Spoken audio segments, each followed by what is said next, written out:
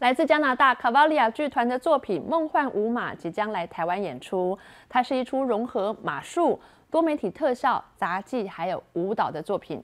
云门舞集艺术总监林怀民就说：“这个作品不只是艺术表演，它更呈现出人跟马的完美默契。”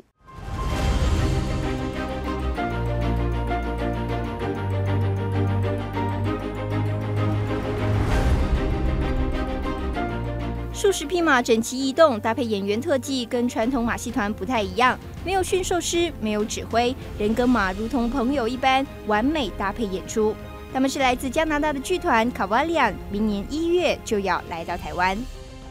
啊，那种感动是说不来的。大概是我一辈子看了很多的表演，可这个表演让我觉得由衷的开心跟感动。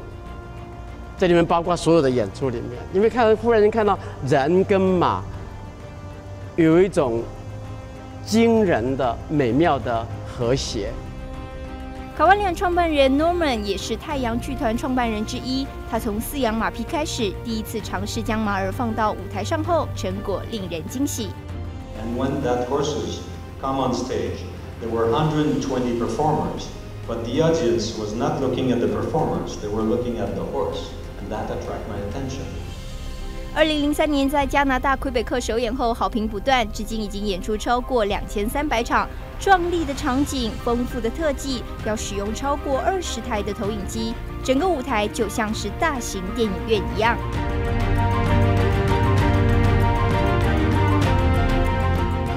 对于马匹的照顾更是无微不至。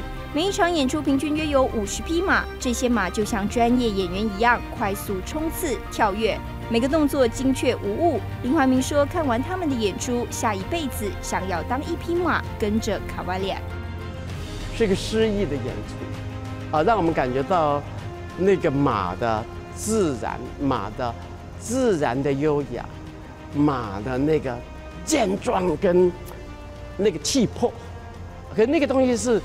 没有人在那边操弄，也没有人在说哈，马不会说这个事情，所以他完那人就顺着这个马的自然，在酝酿，在行进，所以是这个是让我觉得最最最感动人的一部分。与其说是表演，不如说是一场马的游戏。林怀民说：“卡瓦利亚让观众了解到底什么是马，也在人跟马之间找到最完美的平衡点。”